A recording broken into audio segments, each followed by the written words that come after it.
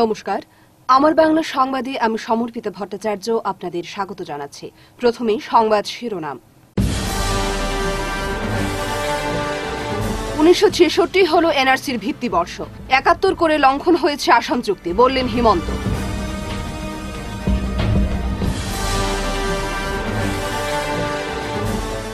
মকর সংক্রান্তিতে মেতে উঠেছে গোটা উপত্যকা। পৌষ মেলায় পিঠে পুলির ধুম।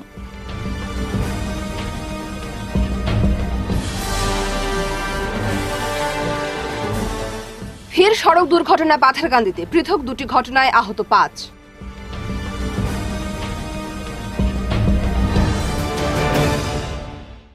এবারে বিস্তারিত আমার বাংলা সংবাদ। আসাম চুক্তি বারবার লঙ্ঘিত হয়েছে। নাগরিকপঞ্জি নবায়নের ক্ষেত্রে উনিশশো একাত্তর সালকে ভিত্তিপ্রশ্ন নির্ধারণ করেও এই চুক্তিটি অমান্য করা হয়েছে। এই অভিযোগ রাজ্যের প্রভাবশালী মন্ত্রী হিমন্ত বিশ্ব শর্মার। সোমবার বিধানসভার বিশেষ অধিবেশনে বক্তব্য রাখতে গিয়ে এই প্রথমবারের মতো আসাম চুক্তি এবং পরবর্তী অধ্যায়ের চুলচেরা বিশ্লেষণ করেন। হিমন্ত বলেন, আসাম চুক্তির কোথাও উনিশশো সালকে ভিত্তিবর্ষ হিসেবে উল্লেখ করা হয়নি। রাজ্যে অবৈধ নাগরিক চিহ্নিত করার ভিত্তিবর্ষ ছিল উনিশশো ছেষট্টি সাল। চুক্তিতে উনিশশো সাতষট্টি সালের ভোটার তালিকাকে এনআরসি নবায়নের দলিল হিসেবে গ্রহণ করার কথা বলা হয়। অবশ্য উনিশশো ছেষট্টি থেকে উনিশশো একাত্তর সালের চব্বিশ মার্চের মধ্যে আসা কেউ যদি নিজে থেকে ঘোষণা করেন, তাহলে তিনি দশ বছর এদেশে বসবাস করার পর তাকে নাগরিকত্ব প্রদান করা যাবে।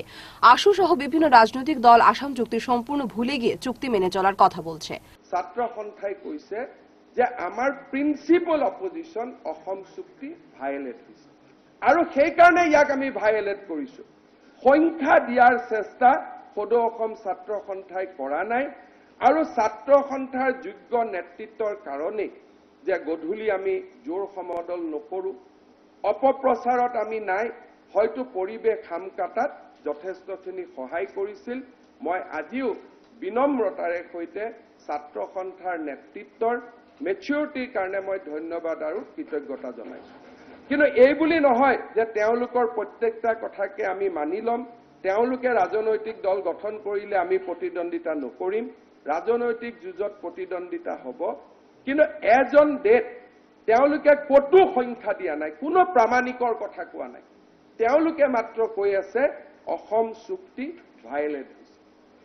অধ্যক্ষ মহোদয় অসম চুক্তি ভায়লেট হৈছে বা অসম চুক্তিৰ কিছু অমীমাংসিত সমস্যা পৰৱৰ্তী কালত ৰিজল্ভ হৈছে। এই কথা দুটাৰ ওপৰত আমি মৌলিকভাৱে বিশ্লেষণ কৰিব লাগিব। প্ৰথম কথা অধ্যক্ষ মহোদয় যেতিয়া অসম চুক্তি স্বাক্ষৰিত হ'ল এই চুক্তিখন মাত্ৰ চাৰিটা পেজৰ চুক্তি এখন। প্ৰফুল্ল মহন্ত ডাঙৰ ইয়াত আছে স্বাক্ষৰ কৰিছিল। এই চুক্তিখন অল একমপ্লিছ নাছিলে। এই চুক্তিখনত বহুত কথা সন্নিৱিষ্ট হোৱা নাছিলে। এখন যে ৰাজ্যত এন আৰ চি লাগে এই কথাটো এই চুক্তিত নাছিলে। And has evolve as a concept post Assam Accord বহুতে কয়, অসম চুক্তি মতে ৰাষ্ট্ৰীয় নাগৰিকপঞ্জী হৈছে। এইটো নহয়। সংশোধিত নাগরিকত্ব আইন নিয়ে যারা প্রতিবাদ আন্দোলন সংঘটিত করছেন, তারা উনিশশো সাতাশি এবং উনিশশো তিরানব্বই সালে আসাম চুক্তি সংশোধনের সময় কেন চুপ ছিলেন? এই প্ৰশ্ন তুলে হিমন্ত বলেন, আসাম চুক্তির অমীমাংসিত বিষয়গুলি একে একে শোধরানো হয়েছে। বর্তমানে চুক্তিটি সম্পূর্ণভাবে ঠিক হয়েছে। যেতিয়া অমীমাংসিত প্ৰশ্নৰ সমাধান বিচৰাৰ স্বাৰ্থত অসম চুক্তিক বহুতবাৰ হাত দিয়া হ'ল অধ্যক্ষ মহোদয়। ঊনৈছশ সাতাশী চনত প্ৰথমবাৰ ৰাজীৱ গান্ধী ডাঙৰীয়াই হাত দিলে। কি ক'লে যে যিকোনো বাংলাদেশী পিতৃ মাত, পিতৃ, মাতৃ যদি বাংলাদেশী হয়, এগৰাকী তেওঁৰ ল'ৰা ছোৱালী ভাৰতীয় হ'ব। কেনেকে অধ্যক্ষ মহোদয়? এসত্তৰৰ আগত সোমোৱা মানুহটো দুই হাজাৰ চল্লিছ চনমানত চব মৰি নোহোৱাই হৈ যাব স্বাভাৱিক নিয়মত। তাৰমানে অসম চুক্তিৰ এক্সপায়াৰী ডেট ইমানেই নেকি? এসত্তৰত অহা বিছ বছৰত আহিছিলে ষাঠি বছৰত স্বাভাৱিক নিয়মত মৰি যাব। তাৰমানে আছাম চুক্তিৰ এক্সপায়াৰী টাইম বাও নাছিল নেকি? যদি অসম চুক্তিয়ে বিদেশী ল'ৰা ছোৱালীখিনিক সামৰি নলয় এইখন কেনেকুৱা চুক্তি আছিলে?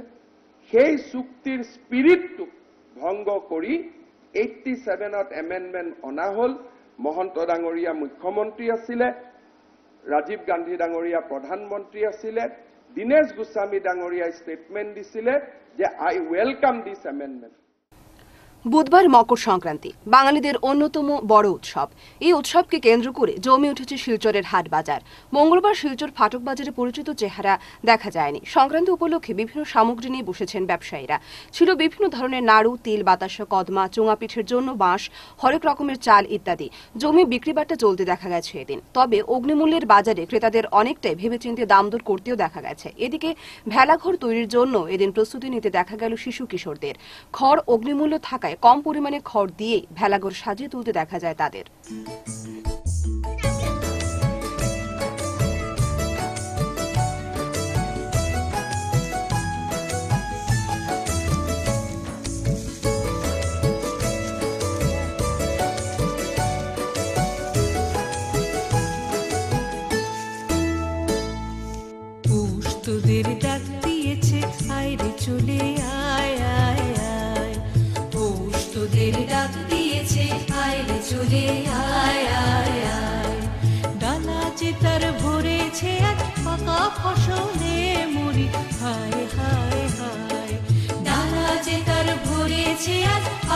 hoş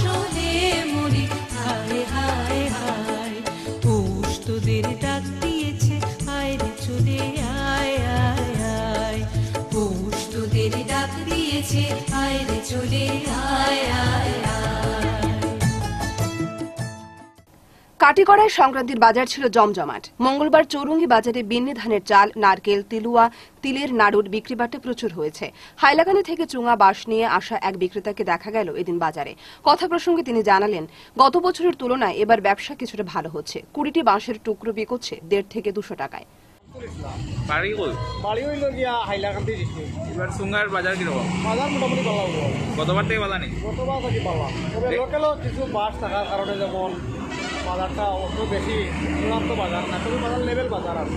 রেট কীরকম রেট আপনার কুড়ি দেড়শো টাকা থেকে দুশো টাকা পর্যন্ত মকর সংক্রান্তি উপলক্ষে জমজমাট ছিল করিমগঞ্জ ছন্তর বাজারেও। মঙ্গলবার সকাল থেকে বাজারে কেনাকাটা শুরু হয়ে যায়। ক্রেতার সংখ্যা তুলনামূলকভাবে কিছু কম থাকলেও বাজারে এদিন দেখা গেল বেশ কয়েক ধরনের বিন্নি ধানের চাল, হরেক রকমের ফল, চিড়ে, খই, তিলের নাড়ু, বাতাসা। এছাড়া ছিল প্রচুর পরিমাণে বাঁশের চুঙা। সংবাদ মাধ্যমের লোককে দেখে আগ্রহের সঙ্গে পদ্মার ইলিশ, চিতল, বিরাট আকারের কাতলা মাছকে তুলে ধরলেন মাছ ব্যবসায়ীরা।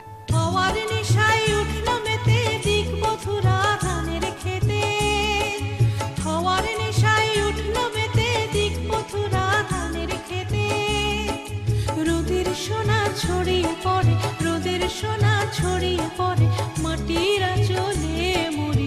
হায় হায় হায়, পৌষ তোদের ডাক দিয়েছে, আয় রে চলে, আয় আয় আয়।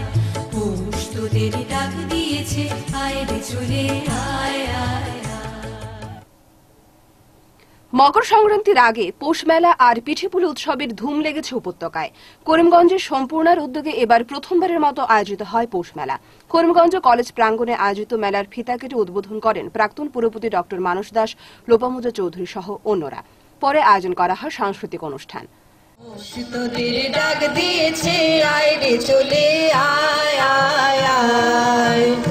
বাঙালিরা যে খাদ্য রসিক তা সকলের জানা। প্রতিটি ঘরে মহিলাদের মধ্যে নানা ধরনের পিঠে পুলি বানানোর প্রতিভা রয়েছে, কিন্তু সেটা ঘরের মধ্যেই সীমাবদ্ধ থেকে যায়। তাই পৌষ মেলার মাধ্যমে মহিলাদের প্রতিভা তুলে ধরার সঙ্গে সঙ্গে থাকছে পিঠেপুলির উপর প্রতিযোগিতা। তোদের ডাক দিয়েছে আয়রে চলে আয় আয় আয়। পৌষ ডাক দিয়েছে আয়রে চলে আয় আয়। আয় নারী সংস্থা আয়োজিত আমাদের এই পৌষ পার্বণ মেলা করিমগঞ্জে করিমগঞ্জ কলেজ অডিটোরিয়াম হলের সামনেই আমরা অনুষ্ঠিত করেছি। আপনারা দেখতেই পাচ্ছেন আমাদের এই আনন্দ, আজকে এত এত সব মানুষ এসছেন, আগামী দিনে হয়তো আরও বেশি হবে। আমাদের আজকে টোটাল তেইশটা কাউন্টার হয়েছে। তাতে পিঠে, পুলি থেকে ধরে সব কিছু ছিল। শাড়ি, চাল, কাপড়, চুড়িদার, এ, সবাই সব কিছু নিয়ে বসেছে। আমাদের এই প্রতিযোগিতা আজকে আমাদের শিলচর থেকে এসছেন। পিঠাপুলির প্রতিযোগিতা পাথারকান্দির সোনাক্ষীরায় ভয়াবহ সড়ক দুর্ঘটনায় চারজনের মর্মান্তিক মৃত্যু ও সাতজনের আহত হওয়ার ঘটনার রেশ কাটতে না কাটতে ফের ভয়াবহ সড়ক দুর্ঘটনার সাক্ষী হলেন দেওলাখাল ও সলগুইয়ের মানুষ। মঙ্গলবারের পৃথক এই দুর্ঘটনায় গুরুতর আহত হয়েছেন পাঁচ যাত্রী। প্রথম দুর্ঘটনাটি ঘটে বাজারিছড়ার সলগুই শিব মন্দিরের কাছে সকাল দশটা নাগাদ। এই ঘটনায় বাপন প্রজাপতি নামে বছর পনেরোর এক যুবক গুরুতর আহত হন।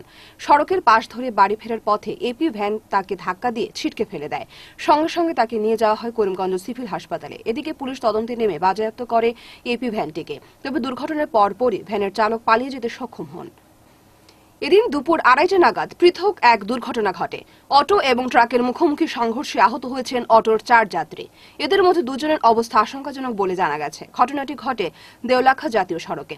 আহত যাত্রীরা হলেন শুকুর আলী মেনুল হোসেন, আরিফ উদ্দিন, লিলুই বিবি।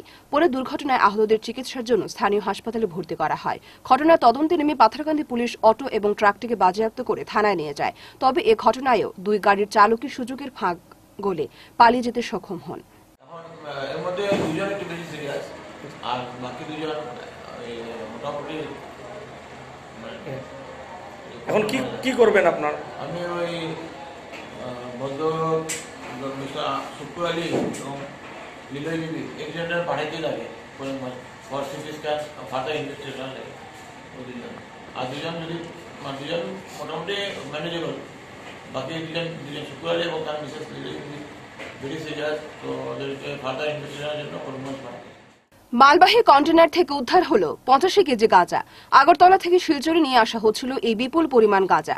মঙ্গলবার গোপন সূত্রের খবরের ভিত্তিতে পুলিশ বাঁশকান্দিতে ওই কন্টেনারটি আটকে তল্লাশি চালিয়ে গাঁজার চারটি বড় প্যাকেট উদ্ধার করে। সঙ্গে ওই কন্টেনারের চালক ও খালাসিকে গ্রেফতার করা হয়। কাছাড়ের অতিরিক্ত পুলিশ সুপার জগদীশ দাস জানিয়েছেন, ধৃতদের বাড়ি পাঞ্জাবে। গাঁজা পাচার হচ্ছে বলে খবর পেয়ে বদরপুর থেকে ওই কন্টেনারের পিছু নেয় পুলিশ। গাঁজাগুলি পৌঁছানোর কথা ছিল শিলচরে, কিন্তু পেছনে পুলিশের গাড়ি থাকায় চালক লরিটি নিয়ে শহর পেরিয়ে লক্ষ্মীপুরের দিকে এগোতে থাকে। পরে বাঁশকান্দি এলাকায় এটি থামিয়ে তল্লাশি চালিয়ে চালকের আসনের নিচে থেকে গাঁজাগুলি উদ্ধার করা হয়। বাজেয়াপ্ত এই গাঁজার বাজার মূল্য দশ লক্ষাধিক টাকা হবে বলে অতিরিক্ত পুলিশ সুপার জানান।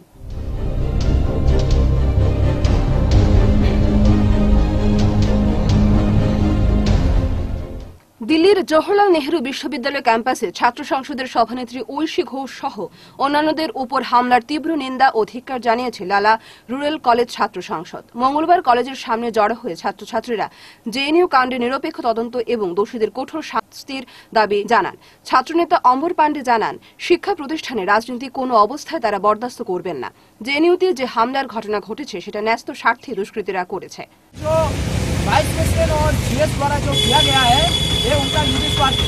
हम लोग इसका खंडन करते हुए हम जो यूनियन के मेंबर हैं एक हम लोग स्टेटमेंट जारी कर रहे हैं कि हम लोग अपना जो है मंतव्य अपना जो स्टेटमेंट है हम लोग प्रकाश कर रहे हैं वो लोग अपना निजी स्वार्थ के लिए ये सब कर रहे हैं। और जो देश विरोधी नारे लगाते हैं उनको हम लोग कभी सपोर्ट नहीं करेंगे। और हम लोग नहीं चाहते हैं कि हमारा कैंपस में कोई ऐसा राजनीति हो हाँ, कोई यहाँ पर पॉलिटिकल ऐसा इशू खड़ा हो। हम लोग नहीं चाहते हम लोग यहाँ पर चाहते हैं कि शांति से यहाँ पर पढ़ाई हो शांति से यहाँ पर एग्जाम हो উল্লেখ্য এসএফআই এনএসইউআই এবং রুরাল কলেজ ছাত্র সংসদ যৌথভাবে এদিন এক প্রতিবাদ কর্মসূচির ডাক দেয় তবে মকর সংক্রান্তির জন্য এদিনের প্রতিবাদ কর্মসূচি স্থগিত রাখা হয় আগামী শুক্রবার জেএনইউ কাণ্ডের প্রতিবাদে ওই প্রতিবাদ কর্মসূচি পালন করা হবে বলে জানানো হয়েছে মণি কর্মকার স্মৃতি প্রাইজ মানি ক্রিকেট প্রতিযোগিতা শেষ হয়েছে মঙ্গলবার। দুদিনের লিগ কাম নকআউট টুর্নামেন্টে মোট ছয়টি দল যোগ দেয়। এদিন ফাইনাল ম্যাচ অনুষ্ঠিত হয় ইন্ডিয়া ক্লাব ও ইটখলা ক্লাবের মধ্যে। বড় লিড নিয়ে ইন্ডিয়া ক্লাব এই টুর্নামেন্টে বিজয়ী হয়েছে। টুর্নামেন্টে সেরা ব্যাটসম্যান হয়েছেন ইন্ডিয়া ক্লাবের সৌভিক দাস। সেরা বোলার হয়েছেন ইটখলা ক্লাবের Sudarshan Sinha. Man of the series Parvez Musharraf. ফাইনালে ম্যান অব দ্য ম্যাচ পেয়েছেন ধ্রুবজ্যোতি ডেকা। পরে প্রাক্তন রঞ্জি খেলোয়াড় করণ দুবে চ্যাম্পিয়ন ও রানার্স আপের ট্রফি সংশ্লিষ্টদের হাতে তুলে দেন।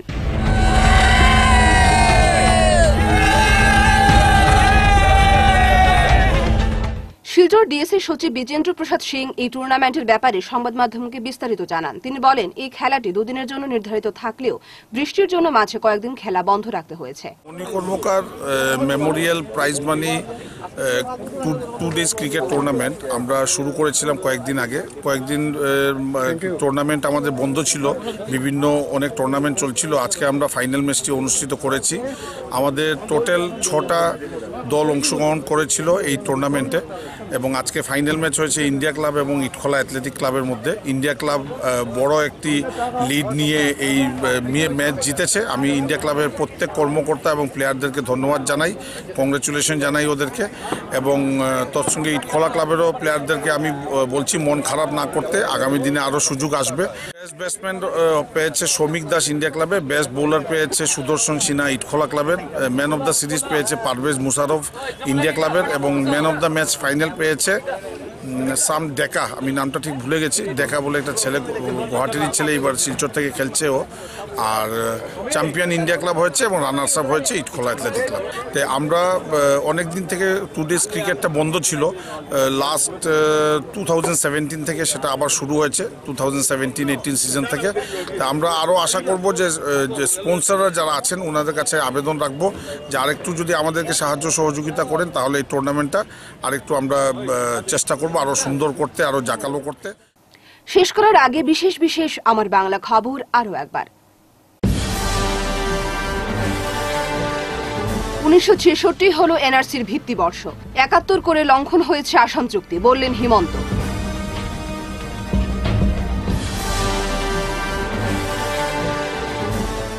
মকর সংক্রান্তিতে মেতে উঠেছে গোটা উপত্যকা, পৌষ মেলায় পিঠে পুলির ধুম।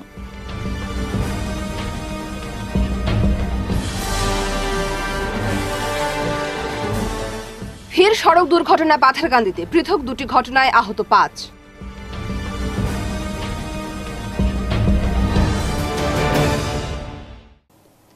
এখনকার মতো আমার বাংলা সংবাদ এ পর্যন্তই। নমস্কার।